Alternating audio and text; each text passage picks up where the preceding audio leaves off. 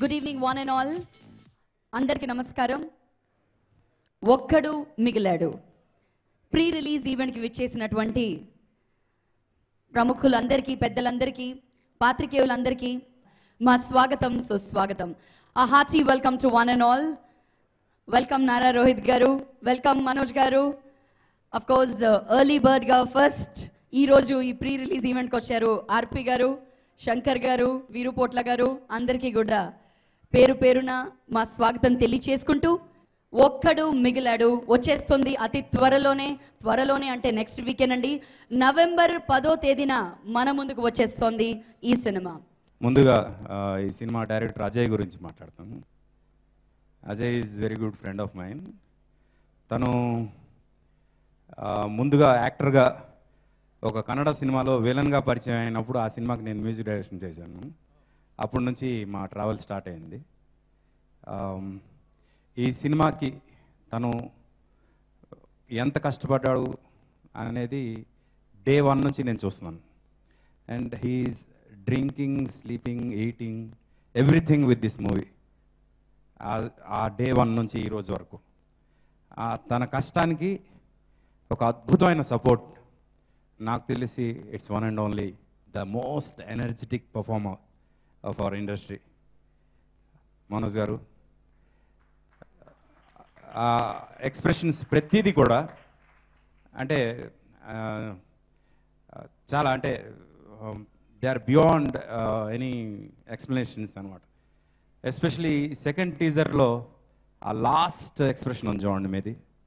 It's a million dollar expression seriously and I think it's only you who can do that Manoj different సినిమాలు చేస్తాడని అనుకుంటున్నాం కానీ కానీ ఇంత డిఫరెంట్ సినిమా చేస్తాడని మాత్రం నేను ఊహించలేదు. స్పెల్ బాండ్ నిజంగా పర్ఫార్మెన్స్ ఆ వాయిస్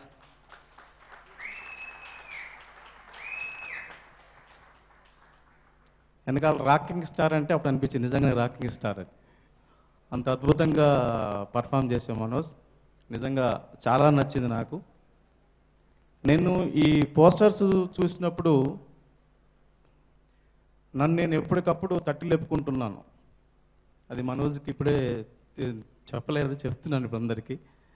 ఎందుకంటే ఆ పోస్టర్లో మనకు ఎల్టీటీ ప్రభాకరన్ కనపడతాడు. అతన్ని చూస్తే ఎవరి రక్తమైనా మరుగుతుంది ఎవరి గుండె అయినా పొంగుతుంది మెదడు నరాలు గొంతుల్లోకి వచ్చి ఈ దేశం కోసం ఈ జాతి కోసం ఆత్మగౌరవం కోసం పోరాటం అని చెప్తాయి. అంత గొప్ప క్యారెక్టర్ని ఒక అద్భుతమైన బ్యాక్డ్రాప్ని తీసుకొని మనోజ్ ఎంత అద్భుతంగా ఉన్నాడంటే నేను నిజంగా మొరవలెస్. నేను ఇక కంపోజ్ చేసుకోలేదు మాట లేకుండా కంపోజ్ చేసి చెప్పాల్సి వస్తుంది టైం పడుతుంది. సడన్గా ఇప్పుడు పిలుస్తారని కూడా అనుకోలేదు నేను. నిజంగా అంత బాగా చేసాం మనోజ్. నిజంగా చాలా హ్యాపీగా ఉంది. నేను టీజర్ ఫస్ట్ టీజర్ చూసినప్పుడు మనోజ్కి మెసేజ్ చేశాను. చాలా అదిరిపోయింది టీజర్ అని. అండ్ uh, తర్వాత థియేట్రికల్ ట్రైలర్ కానీ ఇప్పుడు ఈ టీజర్ కానీ. Everything is looking fantastic and all the best Manoj బాబాయ్ నీ ఎనర్జీ మాత్రం సూపర్ బాబాయ్. నేను నేను కమర్షియల్ సినిమాల్లో నీ ఎనర్జీ చూశాను కానీ ఇలాంటి డిఫరెంట్ సినిమాల్లో కూడా ఇలా ఇంత ఎనర్జీ పెట్టాలని నేను ఇప్పుడే తెలుసుకుంటున్నాను. So wonderful and both the both the characters నైంటీస్లో character కానీ ప్రజెంట్ క్యారెక్టర్ కానీ. Very subtle difference but present క్యారెక్టర్కి ఆ క్యారెక్టర్కి ఆ variation the ఎమోషన్స్లో that is like more hyper and this is very subtle and ఆ పెయిన్ లోపల ఉంది. The second character love it and thanks for believing in this film and giving us such a wonderful film ఈ ఒక్కడు మిగిలాడు అనే cinema Telugu చలనచిత్రంలో మిగిలిపోవాలని మిగలాలని ఆశిస్తూ మనస్ఫూర్తిగా ఈ cinema ఆడాలని కోరుకుంటూ సెలవు తీసుకుంటున్నాను. థ్యాంక్ యూ సో మచ్ అందరికీ నమస్కారం ఆ, ఒక్కడు మిగిలాడు ఆ, చాలా రోజుల నుంచి వెయిట్ చేసిన సినిమా ఇది నవంబర్ టెన్త్కి రిలీజ్ అవుతుంది Manoj I think for me as an actor to work with you was a big inspiration I do not think anyone else would have done, done justice to this role. The transformation that you have undergone is immense and mind blowing. And thank you so much for making me feel so comfortable on set. you can be extremely intimidating because you're such a wonderful and powerful actor. So thank you. Uh, thanks to um, Lakshmikant Garu for uh, s- uh, the great camera work. I'm sure uh, it'll be a visual treat for our audience. చాలాసేపటి నుంచి wait చేస్తున్నారు సా- ఆ, మన మూవీలో no songs no comedy cinema start అయిన first second నుంచి last second వరకు same emotions tempo continuous tempo. So తర్వాత హీరో గారు మాట్లాడతారు దాని గురించి. నేను చాలా సందర్భాల్లో కంటెంట్ దీని గురించి చెప్పాను నేను. ఈ ఈ ఈ మూవీ జర్నీ బిగినింగ్ అంటే చాలా చాలా కంటిన్యూస్ లాంగ్ జర్నీ దీని గురించి తీయాలి దీని గురించి రాయాలి అనుకున్న దగ్గర నుంచి దీనికి ఒక సాలిడ్ టీమ్ uh, కావాలి. సో బై గాడ్స్ గ్రేస్ దాదాపుగా దీంట్లో వర్క్ చేసిన అందరూ cameraman uh, music director uh, దాని తర్వాత ఎడిటర్ కార్తీక శ్రీనివాస్ మన శ్రీనివాస్ గారు శ్రీజీ శ్రీనివాస్ గారు దాని తర్వాత డైరెక్షన్ డిపార్ట్మెంట్ వీళ్ళందరూ కూడా నాకు దాదాపుగా ట్వెల్వ్ ఇయర్స్ నుంచి నేను ఇండస్ట్రీకి వచ్చిన ఫస్ట్ డే నుంచి వన్ టూ మంత్స్లో పరిచయమైన వాళ్ళందరూ ఈ సినిమాలో ఈరోజు still they are with me. వీళ్ళందరూ నాకు హెల్ప్ చేశారు. At the team Suresh Naidu garu వీళ్ళందరూ అవినాష్ లోకేష్ నగేష్ అందరూ కూడా నాతో ఉన్నందుకు నాకు I mean like thank you brothers music director garu amazing music superb background score ఇచ్చారు. కంటెంట్ ఆ కంటెంట్కి కావాల్సిన మ్యూజిక్ ఓన్ ఈ కన్ ఈ టీం ఇదంతా సెట్ అవ్వడానికి కథ సెట్ చేసుకునేది ఒక అయితే ఇట్లాంటి స్క్రిప్ట్ని బిలీవ్ చేయడానికి we know we need two pillars one is the the one who takes you to the audience that is Manoj Babu garu నాకు గోపిమోహన్ అన్న ఇంట్రడ్యూస్ చేశారు మనోజ్ బాబు గారిని. డే వన్ నుంచి ఈ రోజు వరకు చాలా ఎమోషనల్ జర్నీ మనోజ్ బాబు గారితో నాకు సార్కి. డే వన్ నుంచి ఈ రోజు వరకు కూడా uh, నన్- నేను లో అయిన సందర్భాలు ఎన్నో సందర్భాలు ఎన్నోసార్లు లో అయ్యి వర్క్ కదలక ముందుకు పోక గ్రాఫిక్స్ వర్క్ కానీ ఏదన్నా విషయం కానీ ముందుకు పోక ఉన్న సందర్భాలలో we have spend lots of time వాళ్ళ ఇంట్లో కూర్చొని ఎన్నో సందర్భాలు ఎంతో టీజర్ దగ్గర నుంచి కంటిన్యూస్గా లైక్ జర్నీ చాలా చాలా సుదీర్ఘమైనటువంటి జర్నీ జర్నీ దీ దీనికోసం ఈ క్యారెక్టర్ కోసము. అంటే he is he is portraying a leader who is considered as god దేవుడుగా భావించే ఒక వ్యక్తిని ఆయన పోర్ట్రే చేస్తున్నారు. దానికోసం ఆయన పడిన కష్టము యూ ఆల్ అంటే మీకు అది చెప్తే కూడా అర్థం నేను చెప్పలేను అది అది. మీకు చూసిన చూస్తే తప్పితే అది అర్థం కాని అది అర్థం కాదు. వెయిట్ గెయిన్ చేయడం కానివ్వండి వెయిట్ తగ్గడం కానీ ఆయన పడిన కష్టము is it's not an ordinary thing చాలా కష్టపడ్డారు ఆయన. ఆ, సాంగ్స్ టీజర్ కటింగ్కి డే అండ్ నైట్ పొద్దున్నే నాలుగింటికి లెగిసి మళ్ళీ సెవెన్ థర్టీకి తొందరగా పడుకుంటారు ఆయన. సెవెన్ థర్టీ ఎయిట్ కల్లా. సో అక్కడ వరకు కూడా కంటిన్యూస్గా నాతో ఉండేవాళ్ళు ఆయన ఇది శ్రీలంక ఒకదాని కోసం చూస్ చేసుకుంది కాదండి. ఇదేంటంటే లోకం మొత్తం వరల్డ్ మొత్తం. ఇప్పుడు సిరియాలో కానీ ఎక్కడ కానీ ఎక్కడైతే వార్ జరిగి అందరూ బోట్లేకి ఎక్కి వస్తున్నారు స్వేచ్ఛ కోసం పోరాడుతూ ఫ్రీడంగా బ్రతకాలి మా కుటుంబంలో చదవాలి నా పిల్లలు పైకి రావాలని కోరుకుని ఎక్కడ ఎక్కడున్నా కొట్టుకున్న ప్రతి ఒక్కరి కోసం బాధలో ఉన్న ప్రతి ఒక్కరి కోసం తీసిన చిత్రం. ఎందుకు శ్రీలంక ఎందుకు తమిళ్? అక్కడే చాలామంది అడిగారు తమిళ ఏంటి తమిళ ఏంటి శ్రీలంక ఎవరో కాదు మన ఇండియానే.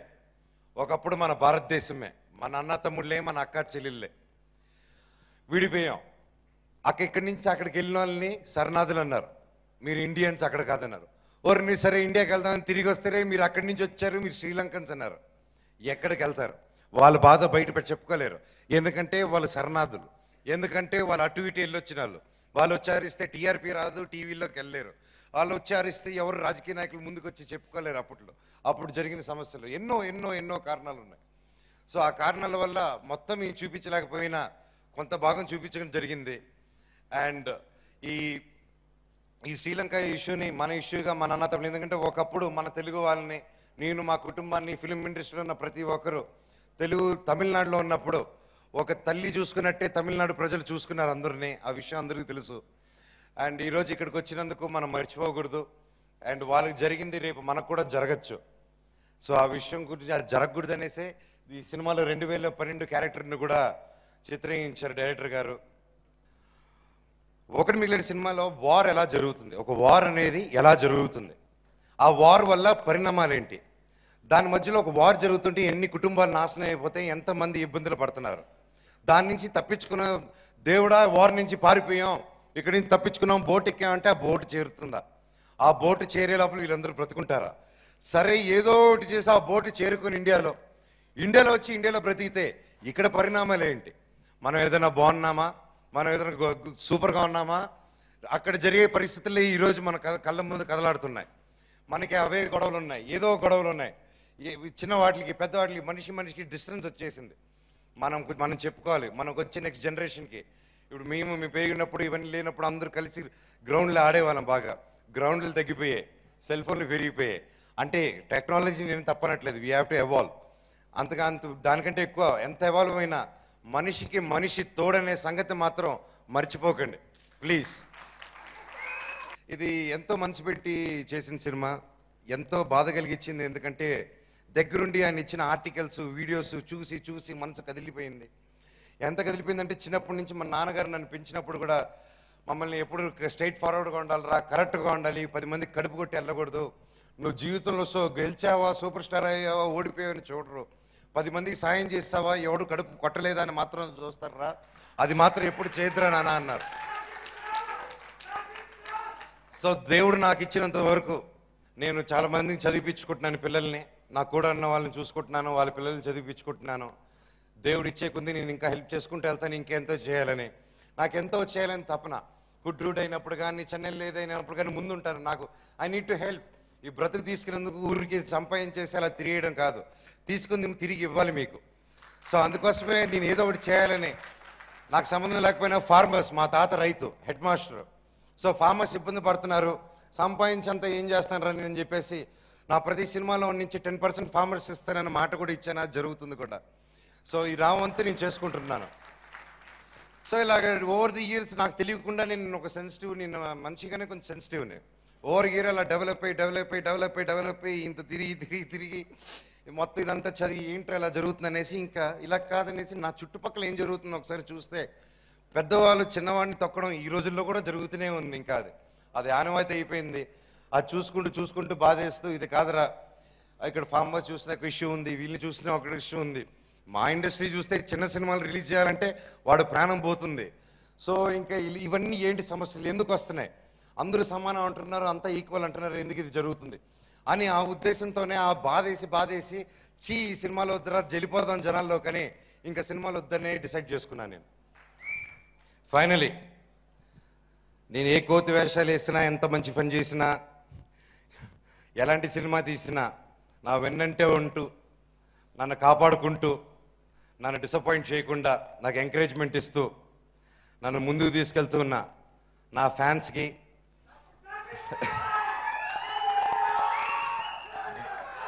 గత రెండు సంవత్సరాలుగా ఈ మూడ్లో ఉంటూ బాగా మూడ్ స్వింగ్స్లో ఉన్న నన్ను బట్ నన్ను నాతో పడుతున్న నా ఫ్రెండ్స్కి రంజిత్కి ముఖ్యంగా అండ్ నా ఇంకో ఫ్రెండ్స్ మిగతా ఫ్రెండ్స్కి అండ్ uh, నా స్టాఫ్కి నా డ్రైవర్ నాగరాజ్కి మా ఇంట్లో ఉన్న ప్రతి ఒక్కరికి నా సెక్యూరిటీ సంతు కానీ రాజు కానీ ప్రతి ఒక్కరు కానీ నన్ను డైలీ చూసుకుంటున్న సత్య కానీ ప్రతి ఒక్కరికి thank you so much thank you thank you thank you so much ఈ సినిమాని ఒక దయనీయ కాదా ఈ దయచేసి ఒక కమర్షియల్ సినిమా లాగానో కామెడీని ఎక్స్పెక్ట్ చేసుకుంటున్నా వెళ్ళకండి.